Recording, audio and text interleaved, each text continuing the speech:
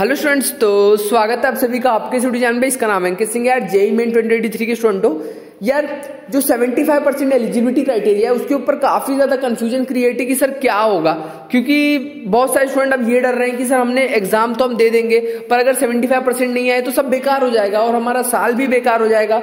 हम लोग क्या करेंगे? बोर्ड तो वापस दे भी नहीं सकते जो क्लियर हो गया है। तो करे तो करे क्या? तो देखो स्टूडेंट जो भी मैं आपको बता दू, आप लोग की जो एलिजिबिलिटी क्राइटेरिया के ऊपर अप्रैल छह, जिस दिन आपका पहला पेपर होगा सेशन टू का, अप्रैल छह को आप लोग की जो है बॉम्बे हाईकोर्ट में सेशन में हियरिंग होगी, जो कि यार आपने मांग रखी है बच्चों ने सभी ने मिलकर कि 75 परसेंट क्राइटेरिया को जो है रिमूव करना चाहिए, नहीं तो बहुत सारे बच्चों का फ्यूचर बेकार हो जाएगा और अन्याय होगा, सरासर अन्याय होगा। तो इसके ऊपर उस दिन जो है सुनवाई होगी मोस्ट प्रोबेबली हम देखते हैं कि सब कुछ ठीक हो कुछ गलत ना हो बच्चों के साथ तो आप लोग भी टेंशन ना लें। हाँ, कोर्ट है बात ज़रूर सुनेगा समझेगा और डिसीज़न शायद स्टूडेंट के पक्ष में दे हो सकता है कुछ ना भी दे। तो दोनों चीज़ हमको साथ में लेके चलना है पर आप लोग पढ़ाई करते रहो एग्ज़ाम पे फ़र्क मत आने दो। भाई अगर आपने एग्ज़ाम अच्छे से अगर आप 99 स्कोर करोगे 90 स्कोर करोगे यार वो ज़रूरी है ये बोर्ड्स का हटाओ अभी क्योंकि अगर आपने 95 स्कोर कर दिया तो अगर चलो जेई में आपका कुछ नहीं भी हुआ 75 परसेंट की वजह से बहुत सारे एंट्रेंस है बहुत सारे जो ऐसे